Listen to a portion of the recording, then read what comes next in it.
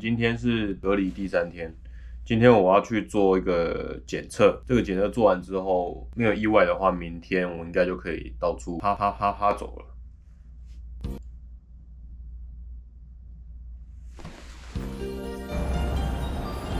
今天欧亚马桑带我来检测。Hey, can you? Hey Taiwan, I am the founder of Limits. I'm here with Cookie. Cookie will be competing at the Asian Championship Grand Final this weekend. You guys need to root for him. He needs a lot of support from Taiwan, so um, watch live and vote. He's Okay. going. He's going to be uh, battling against the great JB Style. 刚刚做完检测了，所以没有意外的话，明天就可以安心的旅游了。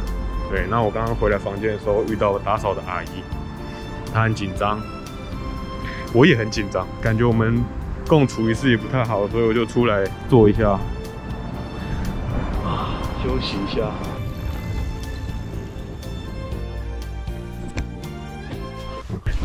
我们来跟大家介绍一下我要怎么样规划日本的行程。先找到我的饭店，在哪里？好了，反正在这个附近就对了。